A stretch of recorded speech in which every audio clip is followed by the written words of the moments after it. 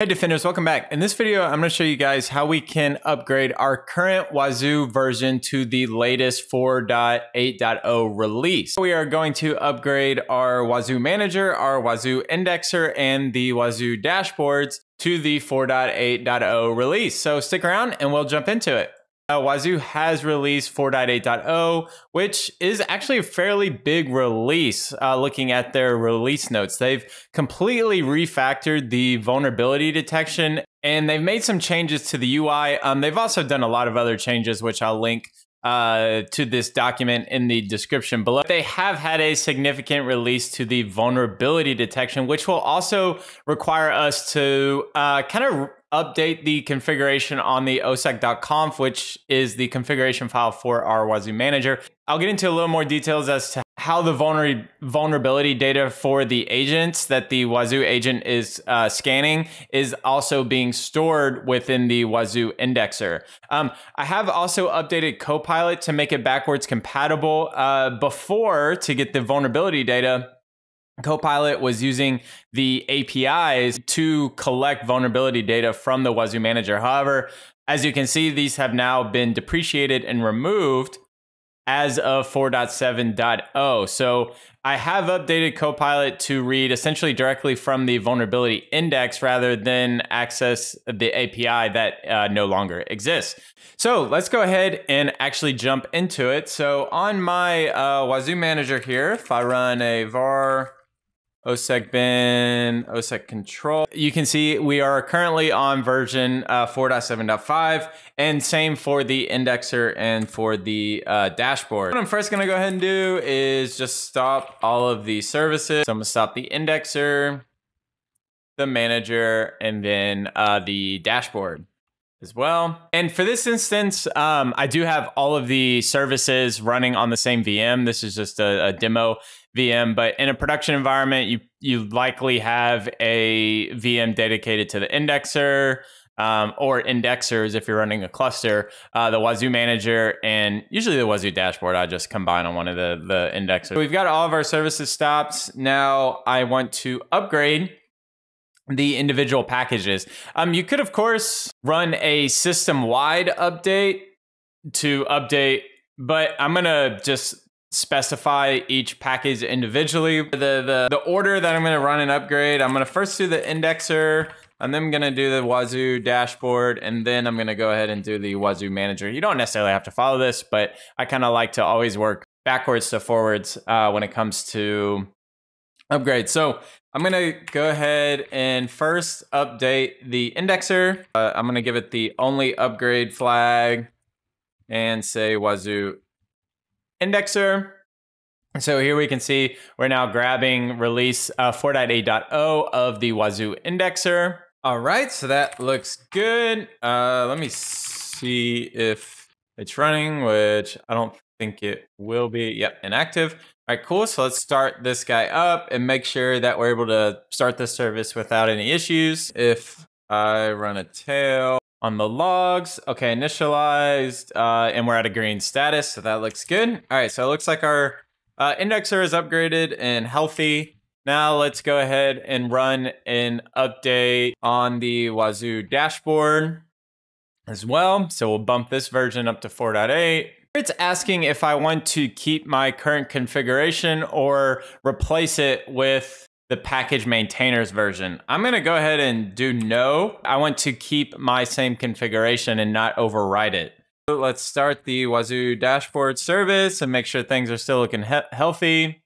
Oh, let me hit it with a daemon reload. And if I say like a watch, we should see the service starting up. All right, looks like we're listening on 443. Let me make sure I can access it from my browser here, and then we'll immediately see the UI changes. After logging in here, um, yeah, they have significantly changed the side menu. The menu options that used to be in my Wazuh manager, that service is still down, right? So our API connection isn't going to work. So we'll get to that here in a sec. But it looks like they've broken everything out into the side menus here. Here's our vulnerability detection that I see. So we'll be able to check that out where you can manage your rules and stuff. They made some UI changes But let's go ahead and progress to upgrading the manager. So we got uh, the indexer is good, the dashboard's good.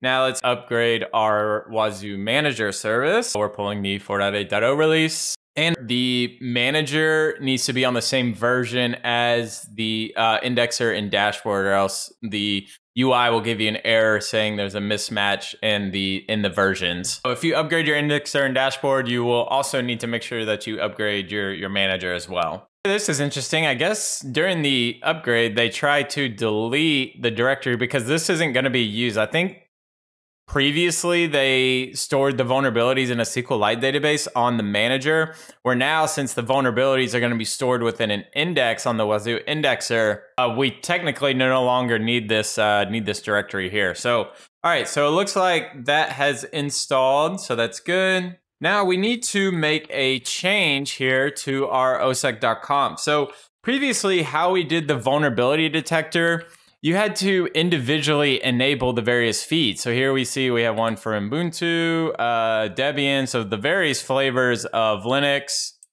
uh, Amazon Linux, uh, Windows. With their latest update within the 4.8 release, they've actually made this a lot easier to manage, uh, in my opinion. Uh, if we go to, I think it's, yeah, this guy. Yeah, here we go. So here we can see that the configuration blocks that we need to include. So here we have our vulnerability detection tag and then this indexer tag, which I'll get to here in a sec. Um, but this is the only portion that we need for our vulnerability detection configuration. So Wazuh is actually going to host uh, the vulnerability feeds for us externally. So uh, within their cloud infrastructure that they use. And so the Wazuh manager is essentially just going to download feeds from their updated data set of that. So it makes it a lot easier for, for us to manage. We really don't have to manage anything. Uh, we just can set our feed update interval to whatever time that you, you want necessary. I'll just leave mine to the default. What we can go ahead and do is uh, copy this block here and on my current uh, ossec.conf, I'm going to go ahead and remove my tags from vulnerability detector all the way down to the closing uh, vulnerability detector tag as well. All right, so I'll make, and then I'll make some space. I'll go ahead and paste that in there. All right, so we got that piece done. So we actually don't need to change anything. And here we're also stating index status to yes. So we're telling the manager, hey, we do want to use this indexer block that we have here. So I'm also going to copy this block and I'm going to paste that below as well. And here we'll define our settings here in a sec. But before I do that, I'm actually going to scroll down to the bottom and you see as part of the update to, to the bottom of this ossec.conf file that they've added this ossec config block with the indexer block that we just added. Um, so I'm going to go ahead and remove this whole block and cut that out because we are putting it up here. And I recommend you guys to do so, especially if you're using the, uh, if you want to use CoPilot to provision the Office 365. Um, we require there not to be multiple OSSEC config blocks within your ossec.conf. We move the indexer up within up to the same general location where we had the old vulnerability detector we can manage that directly here. So, all right, so let's go ahead and step through our uh, configuration for the indexer. So for the host, so you can you guys can see here, so we first set it to enabled. Now we need to point to the host of our Wazuh indexers. Now, I believe if you have multiple, I only have multiple indexers. You could just copy your block. Like if I had a cluster of indexers, I could just copy my blocks and put them here and point to the various hosts. However, I only have um, my one host. So I'm just going to leave it to one. Um, and then here we have to define our certificate. We don't use FileBeat to write our Wazuh alerts to our Wazuh indexers. We use Graylog to do so. All right, so we're not going to have these FileBeat certs. I'm just going to take advantage of the current cert that I'm using for the Wazuh indexers. Um, so if I go here into cert, here, I'm just going to use these three certs here. So we have the, the private key and the certificate for this actual server itself. And then we have our root CA here, which we'll also need. So I'm going to go ahead and just copy these guys into var ossec etc. So I'll put them in the same directory as our ossec.conf. And then I'm going to do the same for the root CA as well. Um, so now if I cd into var OSSEC, I don't know if they need special permissions or ownership. I'm just going to go ahead and add them to the Wazuh group as well. ch own root Wazuh, and then for the indexer, and then for the root CA. And I'll that out. And all right, cool. So we've got our uh, ownership modified.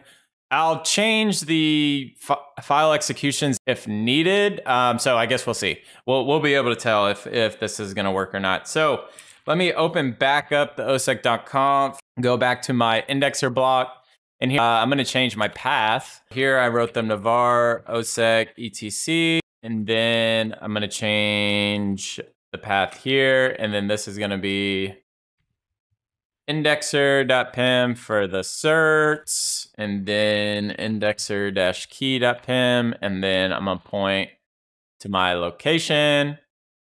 All right, cool. So that looks good. So I'm gonna go ahead and save that. Now I need to make sure that I need to verify that the host that I'm pointing to here um, within my host block has has this value within their SAN. So that can either be the IP address or uh, the DNS name um, within their certificate that they are using. I'm running this on the same server as my Wazuh uh, indexer. If you're pointing to a remote Wazuh indexer, you would just run this same command. I could use the IP address or I could use the uh, DNS name. I'm just going to go ahead and use the DNS name.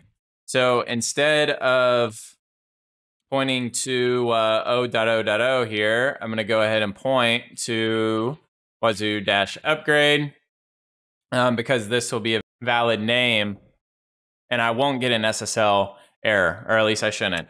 All right, so let's go ahead and save that and I'll clear that out. And then lastly, we need to actually add the credentials to the key store here. So if I scroll down within their uh, within the documentation, you can see you must save the Wazuh indexer username and password into the Wazuh Manager key store. I'm not totally sure, and they don't actually cover within their documentation what role uh, this user would need to have. Um, so it's definitely going to have to be able to write and create indexes to the Wazuh indexer, but they don't really give us any permissions or roles that they recommend that this user have, or at least not that I've seen. So I'm just going to go ahead and use the admin user. Um, if you guys do know or play around with what roles work, then uh, feel free to drop them in the comments or, or on the Discord because that would be that'd be much appreciated. So I'm gonna go ahead and uh, copy that command for my user of admin, and then I'm gonna do the similar command here um, for the uh, for the password of the admin user. So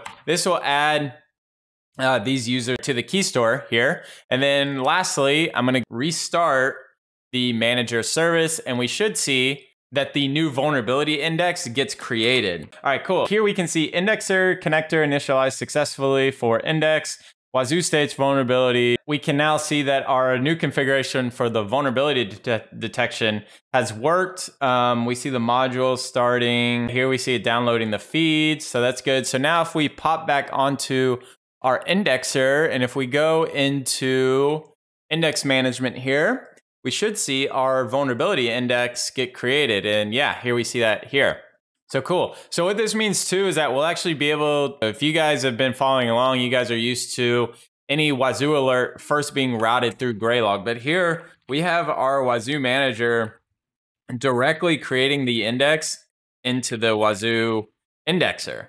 The vulnerability logs are not being routed through Graylog but they are going straight from the Wazuh manager, and the Wazuh manager is is writing to this index um, as part of the configuration that we just defined. So if I go into my vulnerability detection, let's see if we've got anything. And yeah, so sure enough, I don't know what those errors were for a sec maybe something was just cached. But here we can now see that we can actually use uh, Wazuh's vulnerability detection dashboards to view the vulnerabilities using the the latest and greatest version of Wazuh. So I guess they've changed this up a little bit. I don't know. I haven't really poked around their dashboards to to be honest. And also, since this is an index, right? Oh, I can do it there. Yeah, cool. So they've already created the index pattern for it as well. I could load just the index here as well um, to pull stuff out from the side. Um, so yeah, so again, as I've mentioned a few times, um, CoPilot is now backwards compatible. So whether you're running the latest version of Wazuh or a pre-existing or an older uh, release, then CoPilot will will should work at least for both both scenarios. Please do drop us an issue on on GitHub if if you guys come across any issues with that. Um, but yeah, so that is that was the biggest change that I wanted to note regarding the upgrade, as there was a pretty significant change to the uh, vulnerability detection, and I, I don't know, this change was kind of annoying with the whole them creating a re-index, but I do like that they're now hosting feeds that make it a lot easier to keep like your vulnerability feeds up to date. So I do really like that portion. I think it'll be a lot easier for uh, for for teams to to manage the vulnerability feeds that are being used to assess the agent. So I do really like that improvement. Um, so yeah, but as you can see, pretty straightforward. Uh, we just had to make that change in the ossec.conf for the new vulnerability detection piece.